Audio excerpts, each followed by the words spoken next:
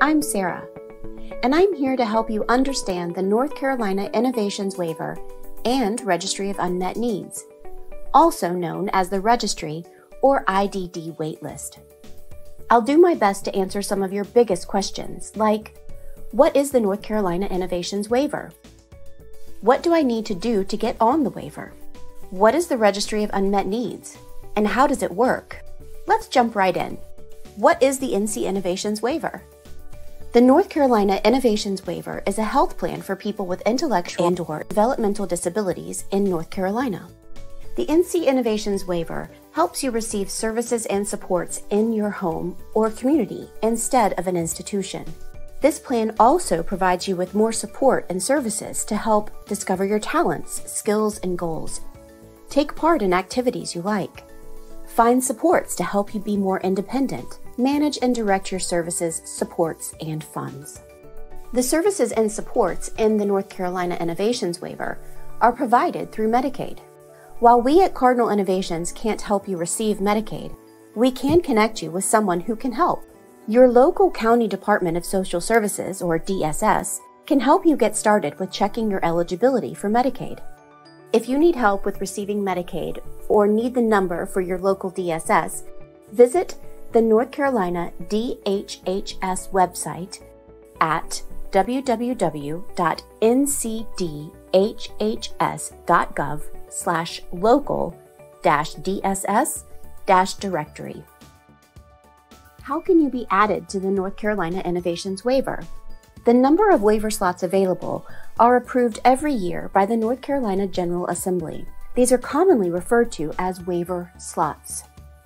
You will be contacted by a Cardinal Innovations Registry Coordinator when you qualify for an NC Innovations waiver slot.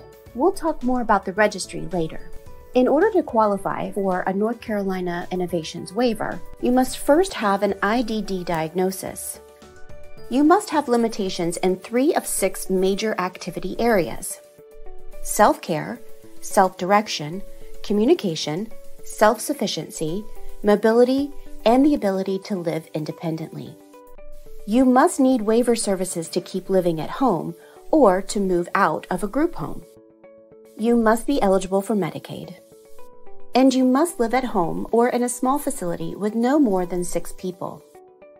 It's important to remember in order to keep your services, you will need to use at least one waiver service each month. This will be shown on your plan. Let's go over what an IDD diagnosis is. First, to know if you have an IDD or intellectual or developmental disability, you will need to meet certain guidelines. Here's a few. Before you are 22, a doctor must say you have a developmental disability. Or before you are age 18, a doctor must say you have an intellectual disability.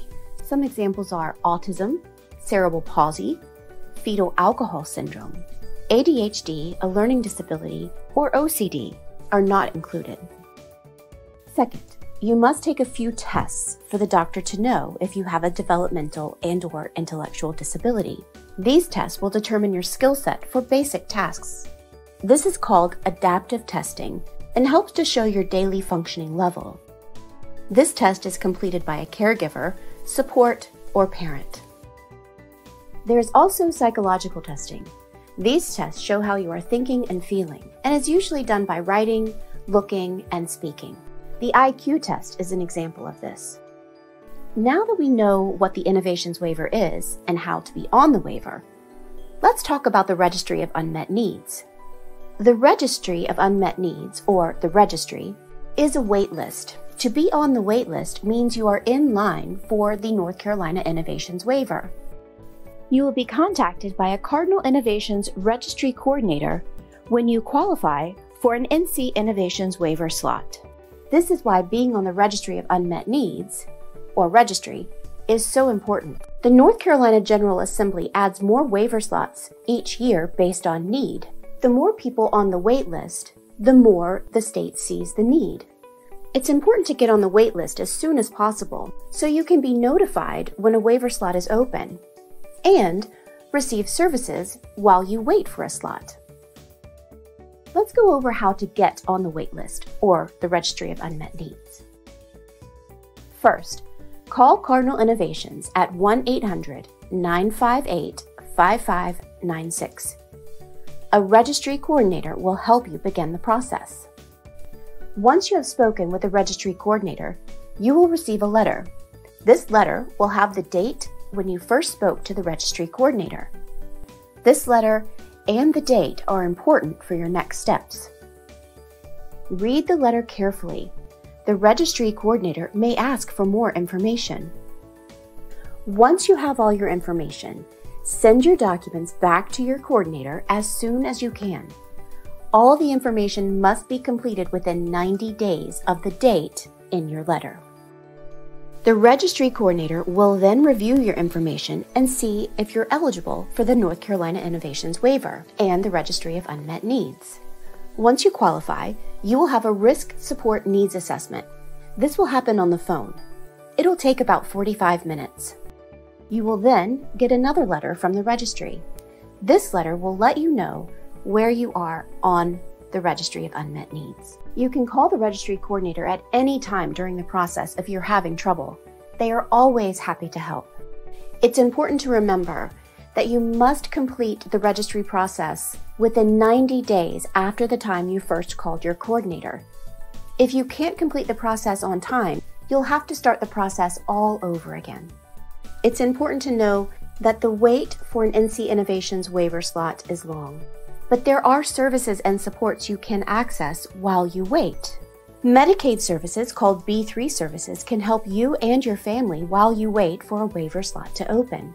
There are also other options for help, like community programs.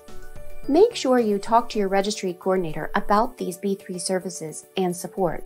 Your registry coordinator will be your point of contact and will be with you every step of the way during this process. Be sure to write down their contact information. There are several ways to reach us.